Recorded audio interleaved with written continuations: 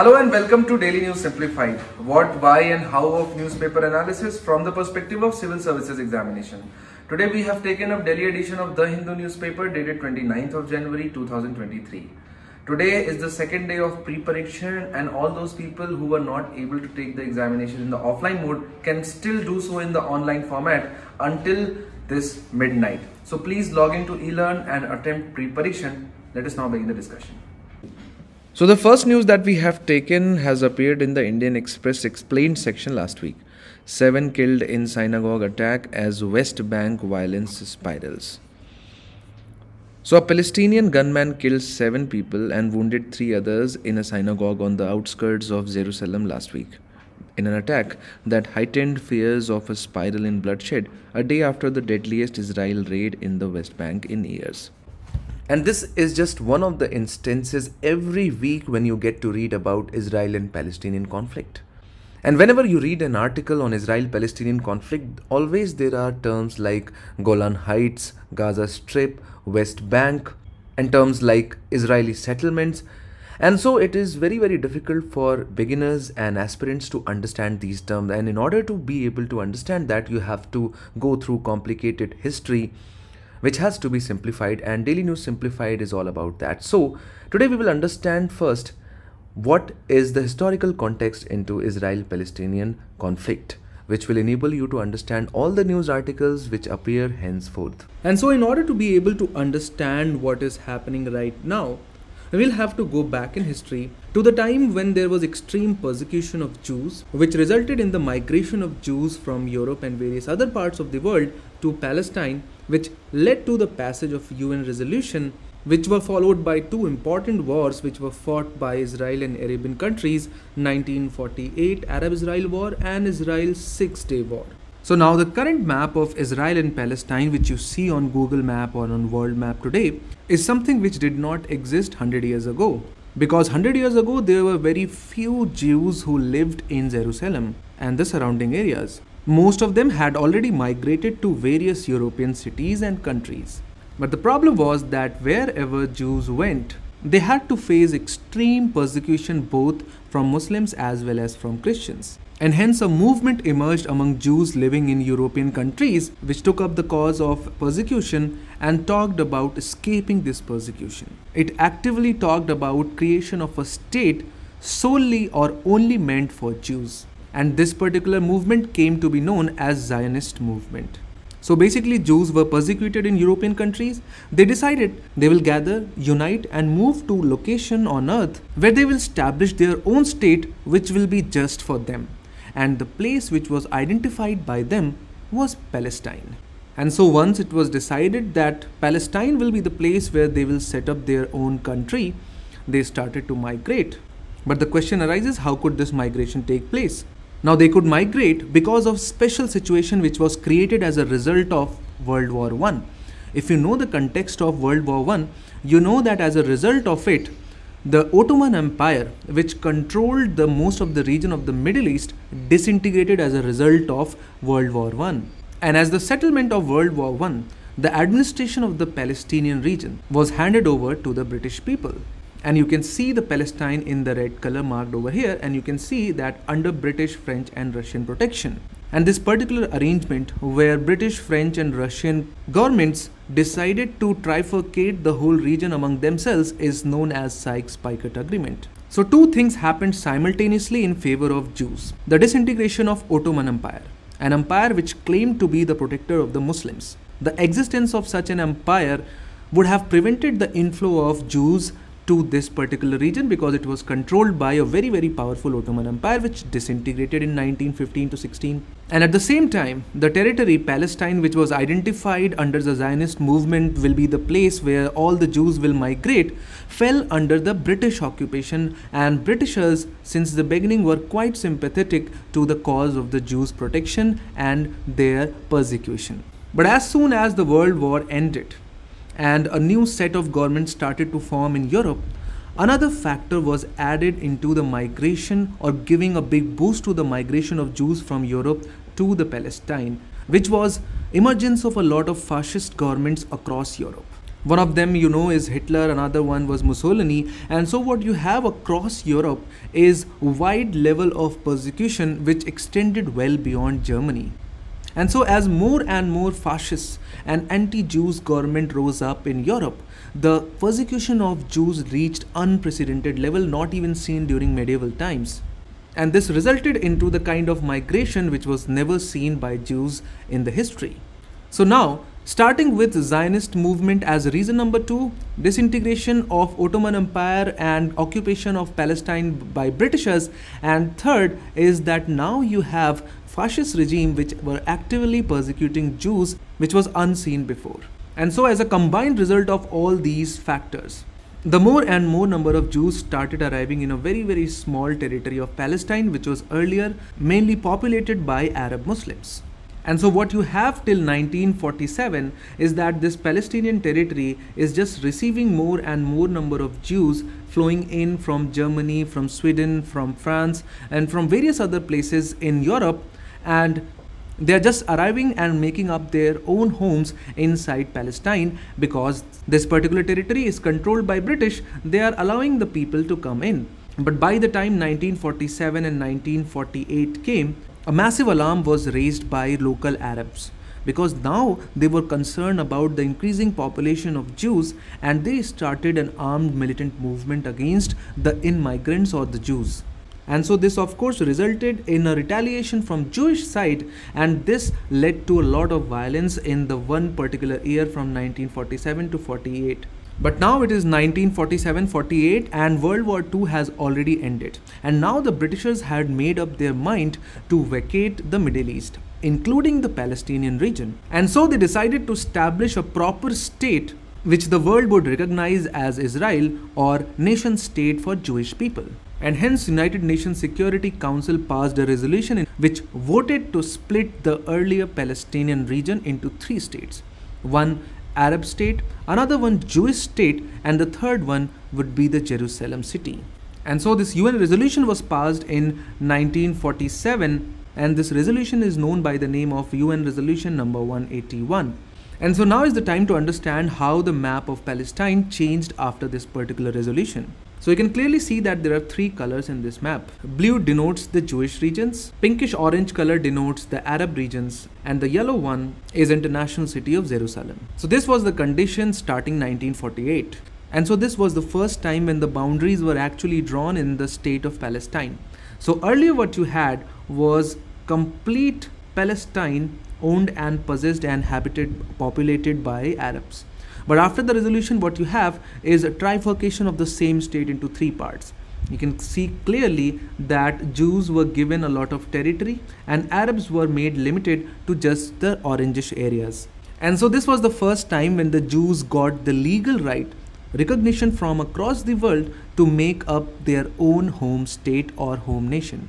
So as you can totally understand, it's quite commonsensical what would have been the reception of this UN resolution. It was wholeheartedly accepted by Jews because since 100 years there was a demand among the Jews for their own home state, which they finally got through UN resolution number 181. But as far as Arabs are concerned, they completely rejected the UN resolution. It's not difficult to think why the response was such, because the earlier territory which completely belonged to them 50% more than 50% of that was given to Jews. And so they not only rejected the UN resolution but at the same time they said that any further talks would not be entertained and we are going to fight it back and take it away from the Jews and so here now what you have is genesis of one of the world's most cluttered and disputed territories. When the Arabs rejected the United Nations resolution, they also promised with each other that they are going to win back the areas which have been given to the Jews, which resulted in a lot of wars. But we are going to keep ourselves limited to 1948 Arab-Israel war and Israel's Six-Day War because these are the two wars which have resulted into drastic changes in the map of the Israel and Palestine and these are the locations which are frequently asked in UPSC prelims examination and through this discussion you will understand the importance of each and every territory. So in 1948, following the declaration of the State of Israel, the group of Arab nations known as Arab League decided to intervene on behalf of their Palestinian brothers by ordering their troops and military to marching into the areas of Palestine, especially those areas which were given to the Jews. Overall, the war was quite prolonged, but Israel emerged victorious because it not only retained its own mandate, it not only retained the territories which were allocated to it through UN resolution, but it was also able to capture around 60% of the territory which was given to the Arab people. So now after the end of this war, the Jews extended their area of control within Palestinian region. And so for next 10 to 15 years, things remained almost the same until in 1967 when Israel fought Six-Day War with its surrounding neighbors which was actually started by Israel because Israel had this kind of premonition that the neighboring states are going to attack it. And so Israel started conducting preemptive strikes on Egypt, Syria, and Jordan. And the interesting outcome of the war was not just that it defeated the combined armies of Egypt, Syria, and Jordan, but Israel also managed to get control over some of the most strategically important points in Egypt, Syria, and Jordan, which would then go a long way in defending Israel in future. So, for example, it captured completely Sinai Peninsula and Gaza Strip. It took away Golan Heights, which are located over here, from Syria, and then it took West Bank, which can be seen marked in the blue color over here, and East Jerusalem from Jordan.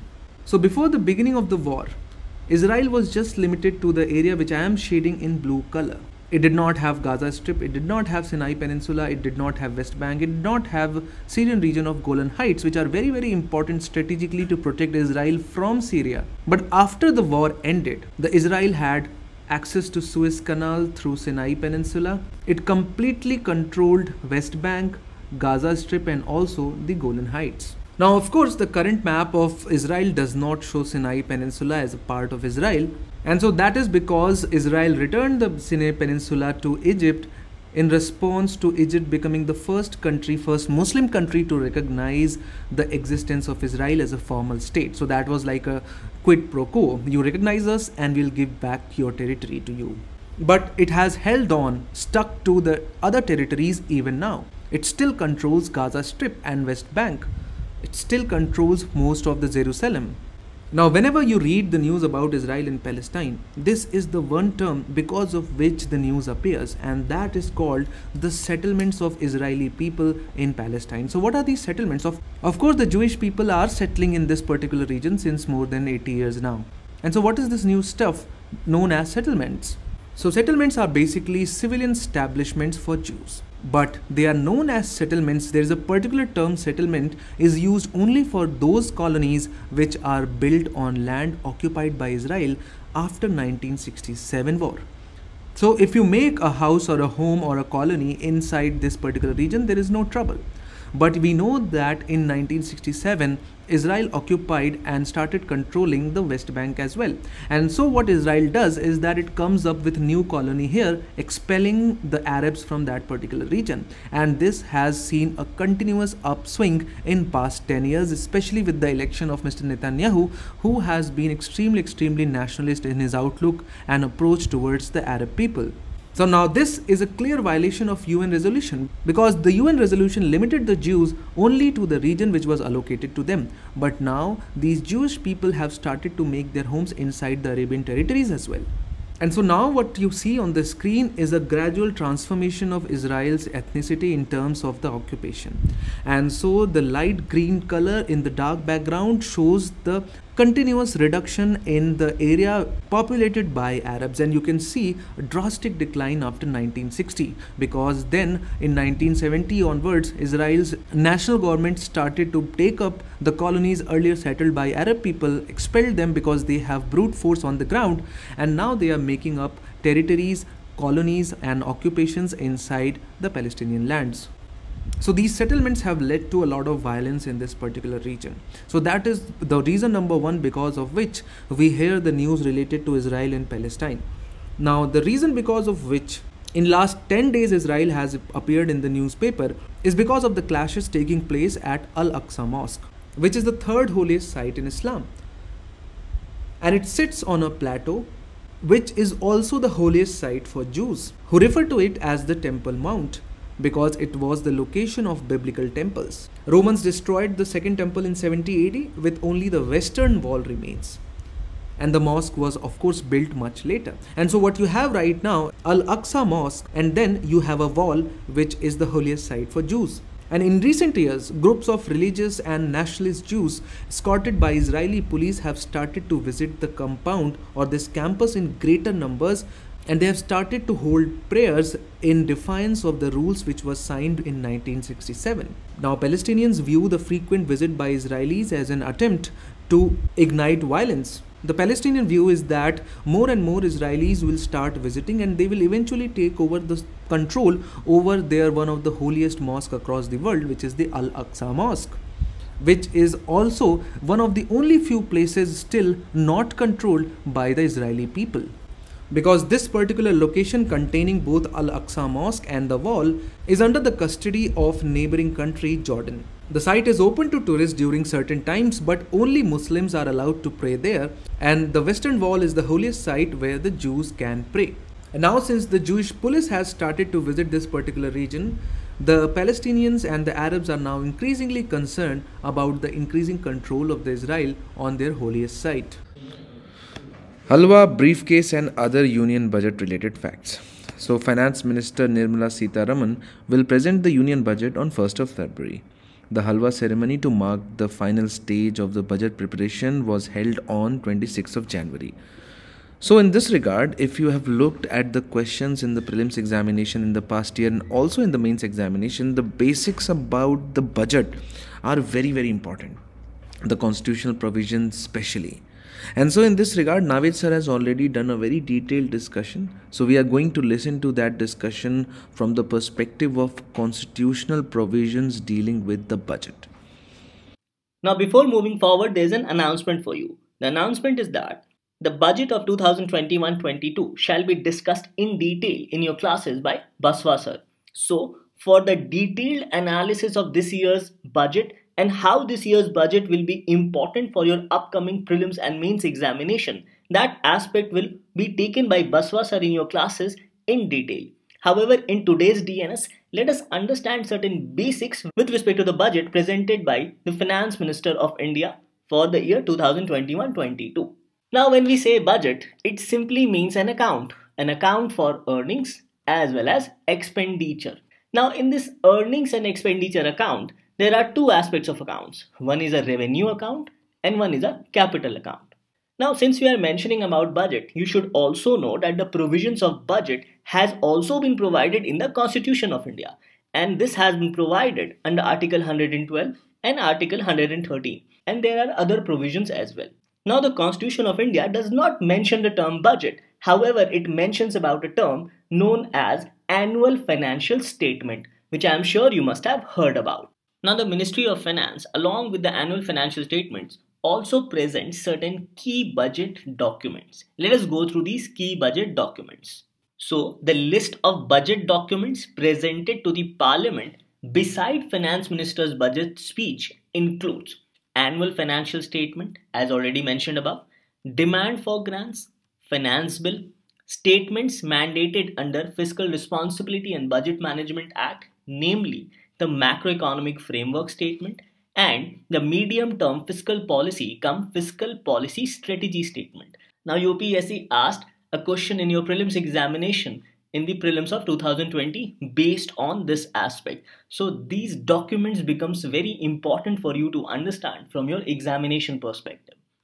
Other documents include expenditure budget, receipt budget, expenditure profile, budget at a glance, memorandum explaining the provisions in the finance bill, output outcome monitoring framework, key features of budget 2021-22 and implementation of budget announcement for the year 2020-21. So these are some of the important key documents regarding budget which you must know.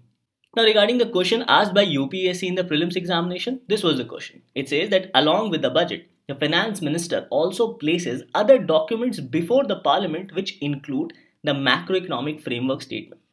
This aforesaid document is presented because this is mandated by. Now here the correct answer was D. That is, it is presented because it has been provided as one of the provisions in the Fiscal Responsibility and Budget Management Act of 2003. So we understand that we have to know about these important documents, especially about annual financial statement, which has been provided under Article 112.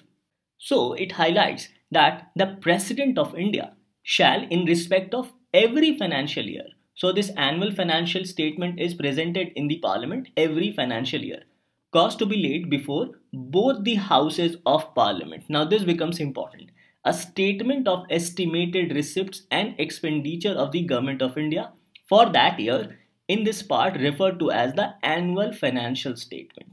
So if we go through the provisions of Article 112, few things becomes important. That the President every year shall cause to be laid before both houses of parliament, that is both Lok Sabha and Rajya Sabha, an annual financial statement.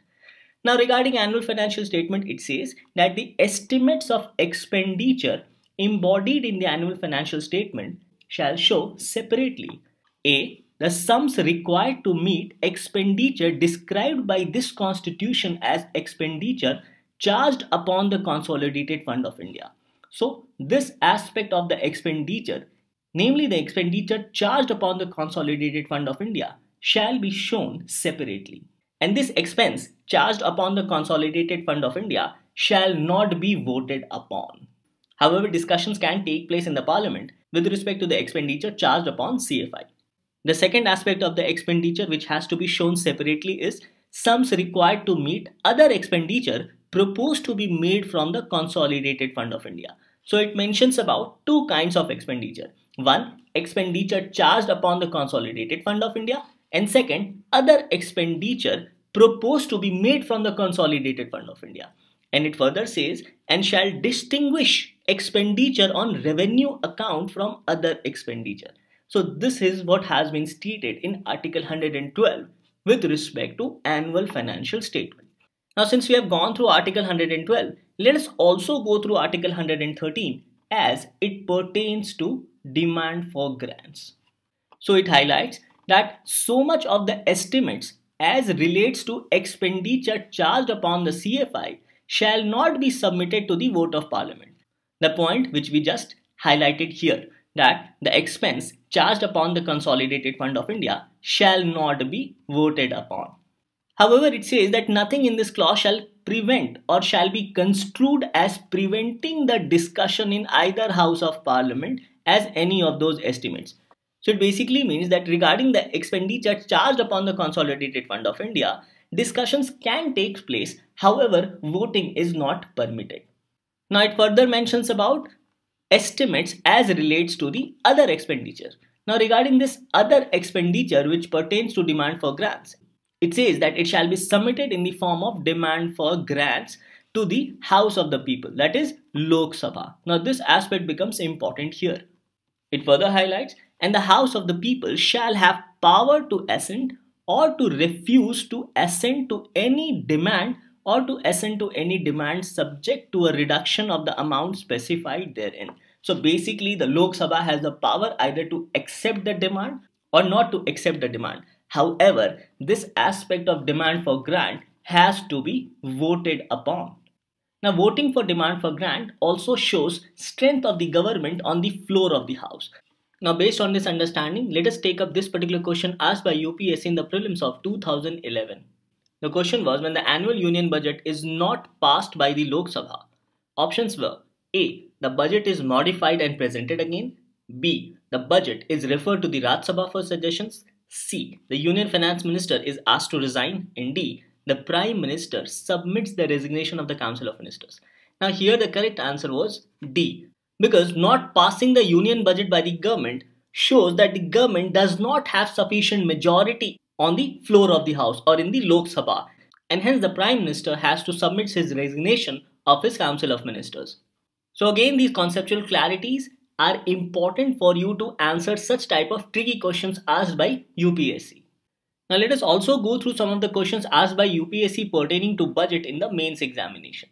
Now in the year 2019, the question asked was the public expenditure management is a challenge to the government of India in the context of budget making during the post liberalization period. Clarify. Next question asked by UPSC in 2018 was comment on the important changes introduced in respect of the long-term capital gains and dividend distribution tax in the union budget for 2018-19. A question framed in 2017 read as One of the intended objectives of the Union Budget 2017 18 is to transform, energize, and clean India. Now, analyze the measures proposed in the budget of 2017 18 to achieve the above said objective. Again, a question on gender budgeting was asked in 2016. The question read Women empowerment in India needs gender budgeting. What are the requirements and status of gender budgeting in the Indian context? This was taken up in 2016. Now, two questions were asked in 2013 related to FRBM and budget. The question related to FRBM read, what are the reasons for introduction of Fiscal Responsibility and Budget Management Act of 2003? Discuss critically its salient features and their effectiveness. So a direct question on FRBM was also asked by UPSC in the mains examination. And this question read, what is the meaning of the term tax expenditure? taking housing sector as an example, discuss how it influences budgetary policies of the government. So we see a variety of questions asked by UPSC on diverse topics based on the theme of Indian budget. So the themes which we are going to discuss becomes important with respect to your upcoming prelims and mains examination. Now regarding budget we had discussed that it is an accumulation of the government's earnings or receipts as well as the expenditure. Now let's take up this news from the explained section of Indian Express. Now this news has also appeared in the Hindu newspaper in the FAQ section. And this news talks about T plus 1 settlement cycle. Now from your examination perspective, particularly prelims, we need to know about these terms which constantly appear in the newspapers. So here we'll try to understand about the T plus 1 cycle with respect to stock market. So this news says that how will the T plus 1 settlement cycle impact markets? What was the infrastructure required for the transition? Will it help investors? This news in the explained section of Indian Express says that new T plus 1 settlement cycle comes into effect today and it has came into effect after the notification of SEBI that is Securities and Exchange Board of India. So it says that what does this mean and how will investors be impacted?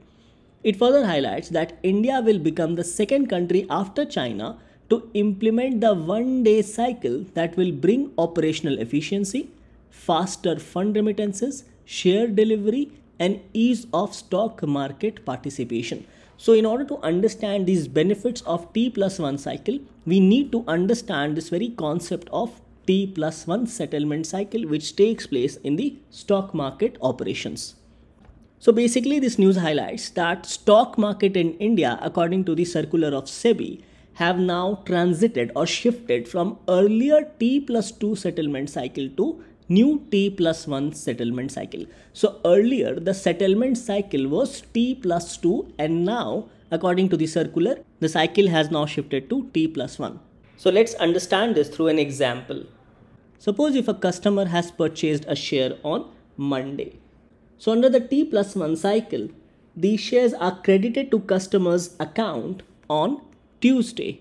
So as you can see in a T plus 1 cycle, the transaction generally take within 24 hours.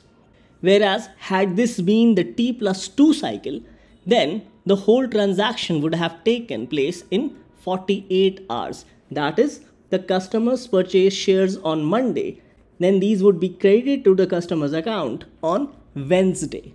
So transaction of shares taking place within 24 hours is T plus 1 cycle, whereas transaction of shares taking place within 48 hours, that is 2 days, is T plus 2 cycle. So it says that a T plus 1 settlement cycle means that the trade related settlements must be done within a day or 24 hours of the completion of transaction. Now, another important thing to know is that a trade of stock market involves three important functions or three important steps. These are execution of the trade, second is clearing of the trade, and third is settlement.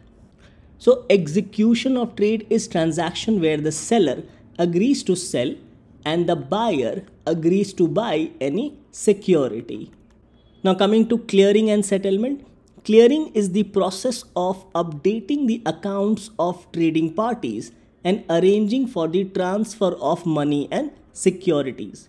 And all process leading to settlement is called clearing.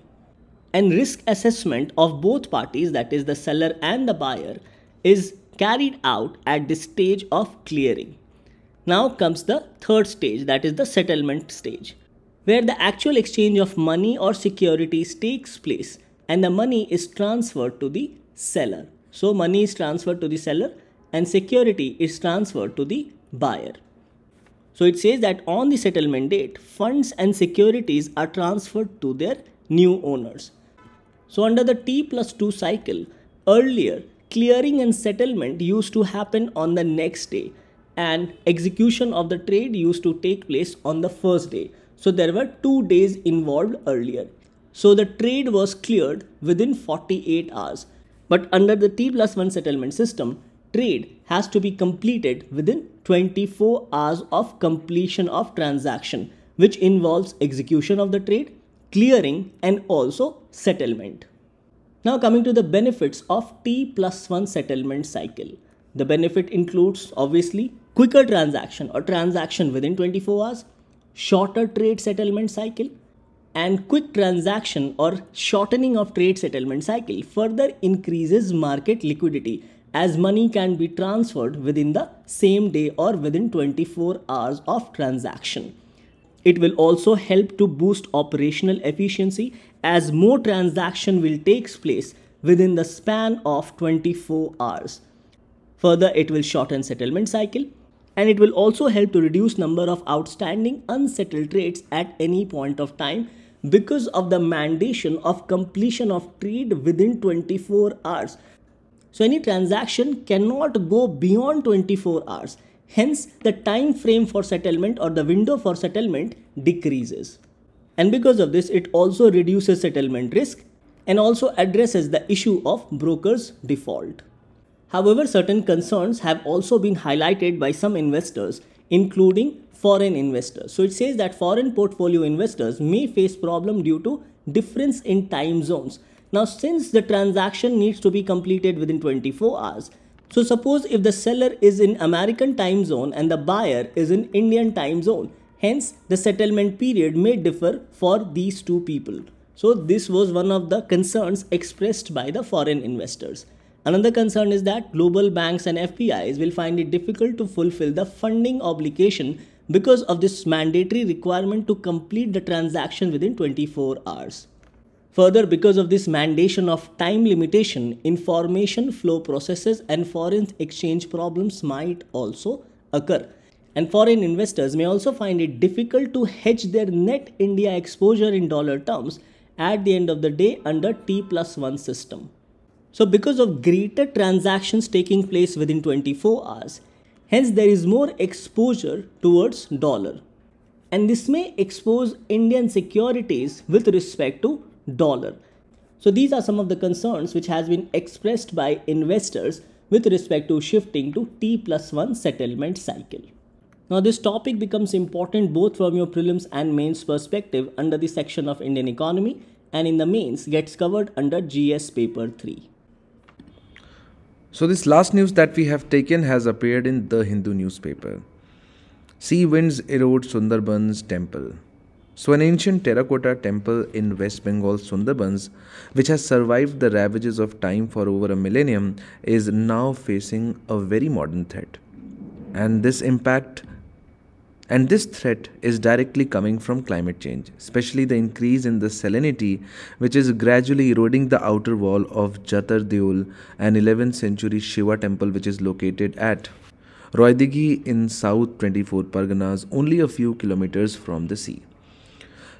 Now, in this particular article, there are two aspects. One is from the perspective of art and culture. This Jatar Deol temple is one of the oldest temple in the eastern India, 11th century Shiva temple. Another one is with respect to the map location and geography. Because if you look at the previous year question in 2020, UPSC had asked among the following tiger reserves, which one has the largest area under the critical tiger habitat and you can see Sundarban was one of the options. Similarly, in 2019, UPSC had asked which one of the following national park lies completely in the temperate alpine zone. All the options formulated were national parks. So you can see that Sundarban, being a Ramsar site, being a tiger reserve, and also being a national park, is one of the most important map locations that you can prepare.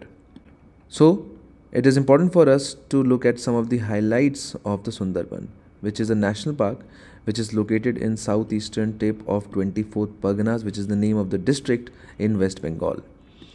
It got its name from one of the mangrove plants known as Sundari trees. So the name Sundarban has been derived not out of the beauty but out of the trees which are named as which are named as Sundari trees. Sundarbans are a part of world's largest delta formed by river Ganges, Brahmaputra and Meghna. Sundarban forms the largest tiger reserve and national park in India. The total area of Indian part of Sundarban forest is about 4262 square kilometers, of which 2125 square kilometers is occupied by mangrove forest across 56 islands and the balance is underwater. The park is surrounded by a buffer zone of 885 square kilometers and this also mainly consists of mangrove forests. The core area of the park has its own natural boundaries with the river Malta on its west, river Haribhanga on its east, Netidhopani and Gosba in the north. The main attraction of Sundarban are the tiger, of which the delta harbor large reptiles like monitor lizard, estuarine crocodile, and olive ridley turtle. The leopard, Indian rhinoceros, Javan rhinoceros, swamp deer, hog deer, and water buffalo have all become locally extinct from the delta in the recent decades. Other significant facts about Sundarban is that it is one of the UNESCO Man and Biosphere Program site. It is also UNESCO's World Heritage Site inscribed in it is also UNESCO World Heritage Site inscribed in 1987 and it has been designated as Ramsar Site since 2019. The Indian part of Sundarban, which constitutes 60% of the country's total mangrove forest area and includes 90% of the Indian mangrove species. The mangrove forests protect the hinterland from storms, cyclones, tidal surges, and the seepage and intrusion of salt water inland into waterways. They serve as nurseries to shellfish and finfish and sustain the fisheries of the entire eastern coast. The Sundarban Tiger Reserve has been declared as a critical tiger habitat under national law and also a tiger conservation landscape of global importance. Sundarbans are the only mangrove habitat which supports a significant population of tigers and they have unique aquatic hunting skills. The site is also home to a large number of rare and globally threatened species such as critically endangered northern river terrapin, the endangered Irrawaddy dolphin and vulnerable fishing cat.